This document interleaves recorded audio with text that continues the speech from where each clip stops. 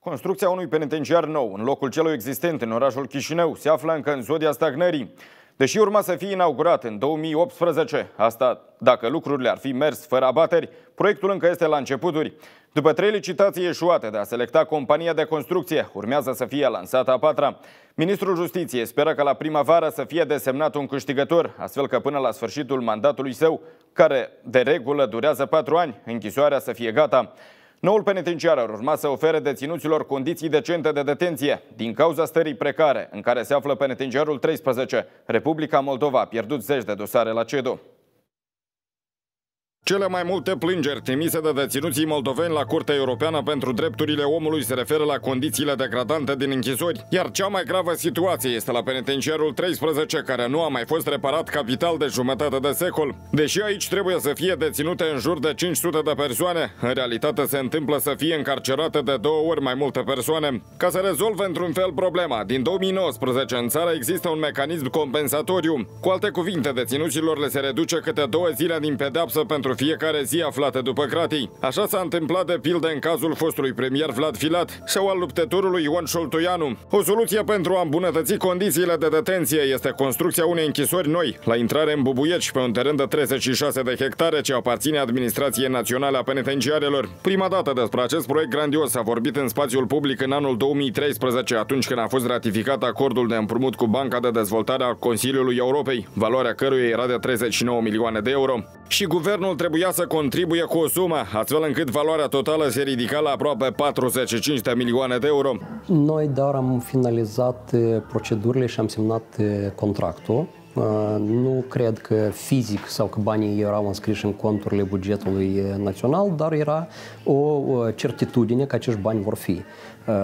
Guvernul trebuia să contribuie cu o sumă care era mult mai mică, deci cred că mai puțin de 10% din valoarea creditului obținut și nu rămânea decât autoritățile să-și facă mai departe, să-și organizeze procesul. Când a fost ratificat acordul, Ministerul Justiției era condus de Oleg Efrim. Din spusele lui, o clauză specială era ca noul penitenciar să fie construit după standardele dictate de Consiliul Europei. Cu alte cuvinte, era nevoie ca firma care să construiască să aibă experiență în astfel de proiecte.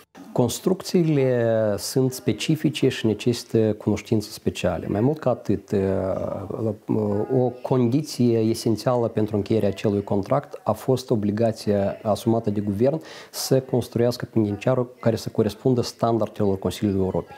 Cei nu doar doreau să financeze un astfel de proiect, dar să se asigure că o închisoare va fi construită cu respectarea tuturor exigențelor pe care le înaintează Consiliul Europei spațiu alocat pentru un deținut, spații pentru plimbări, sport și așa mai departe. Autoritățile mizau că în 2018 construcția închisorii să fie gata deja, dar nici acum nu se știe bine când se va tăia panglica noului penitenciar. În ultimii șapte ani de la startul proiectului și până în prezent au avut loc mai multe licitații. La început trebuia selectată compania de asistență tehnică, apoi cea care să facă proiectarea. Au urmat alte trei licitații pentru identificarea unei companii care să construiască penitenciarul, dar toate s-au soldat cu eșec. Problema nu constă în mijloacele financiare, spune actualul ministru al justiției, care își pune speranțe că până la finalul mandatului său penitenciarul să fie construit problemă care trebuie să o rezolvăm cu actualizarea costurilor, având în vedere că uh, au mai crescut prețuri din 2014, 2019, când au făcut, uh, făcut evaluările, uh, reevaluările. Uh, dar problema este de a găsi persoane care urmează să uh, urnească calul, carul din loc uh, pe de o parte și de a selecta compania care nemijlocit se va ocupa de construcția acestui penitenciar, pentru că este un uh, obiectiv specific. Noi nu avem în Republica Moldova Uh, companii care au mai construit penitenciare. Potrivit estimărilor sale, noua licitație de selectare a unei companii de construcție ar urma să aibă loc în primăvara acestui an. În timp, conducerea penitenciarului 13 susține că în ultimii ani, din bani publici, s-au făcut lucrări de îmbunătățire a condițiilor de detenție. Nu putem nega faptul că în mare parte unele condiții de detenție nu au corespuns cerințelor, însă mă repet, ultima perioadă se îmbunătățesc remarcabil aceste condiții. Totodată, în mare parte, deținuții se plâng nu doar pe condițiile de trai propriu-zis, cât și alte condiții, cum ar fi recreere, aflarea la aer liber, o perioadă mai îndelungată. Penitenciarul numărul 13 Chișinău este o instituție veche unde arhitectura deja nu corespunde standardelor actuale. Urmăresc cu îngrijorare situație legată de noul penitenciar și avocații de la Promolex. Vadim Vieru, care reprezintă la CEDU cauza unei foste deținute, aflat în scaun cu rotile, își exprimă speranța că închisoarea va dispune de condiții și pentru persoanele cu dizabilități.